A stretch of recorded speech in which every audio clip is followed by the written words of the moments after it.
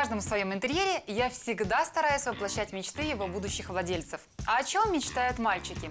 Уверена, что хотя бы раз в жизни почувствовать себя капитаном настоящего корабля, который бороздит бескрайние морские просторы.